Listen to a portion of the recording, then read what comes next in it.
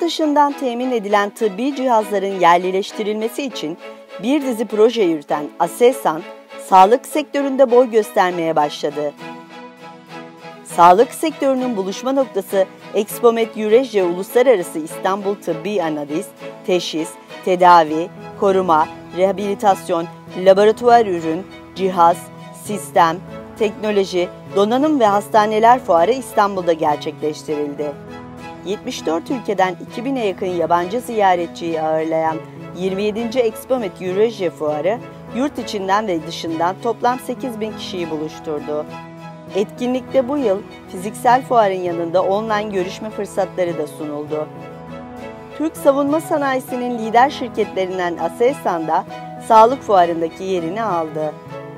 Türkiye'nin sanayide yerli ve milli hedefleri doğrultusunda sağlık sektörüne kazandırılan Aselsan Heartline Otomatik External Defibrilatörü, yatırımcılar ve sağlık profesyonelleri ile ilk kez Expomet'te buluştu. Aselsan yerli bir üreticiyle yaklaşık bir buçuk yıldır sürdürdüğü çalışmalar sonunda dünya standartlarında bir ürün geliştirdi. Ani kalp durmalarında kritik müdahaleyi gerçekleştiren defibrilatör, elektroşok cihazı olarak da biliniyor. İlk yardım yönetmeliği kapsamında eğitim alan herkese defibrilatör eğitimi de verilmesi gerekiyor. Elektroşok cihazlarının tüm kamuya açık alanlarda, iş yerleri ve okullarda, güvenlik ve ulaştırma araçlarında, ibadet yerlerinde bulundurulması planlanıyor. Türkiye'de sağlık teknolojilerindeki dışı bağımlılık %85 düzeyinde bulunuyor ve bu alanda yılda 2 milyar dolarlık ithalat gerçekleştiriliyor.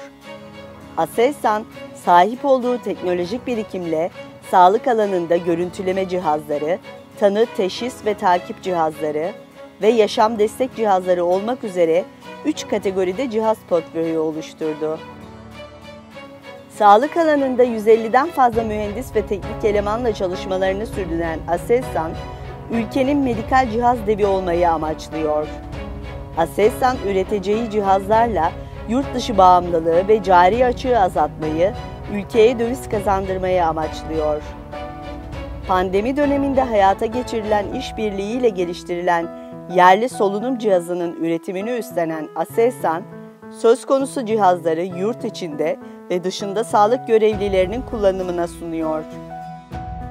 Aselsan önümüzdeki dönemde MR cihazı, ultrason, bilgisayarlı tomografi, dijital röntgen, mamografi ve hasta başı monitör gibi bir dizi cihazı ürün yelpazesine eklemeyi hedefliyor.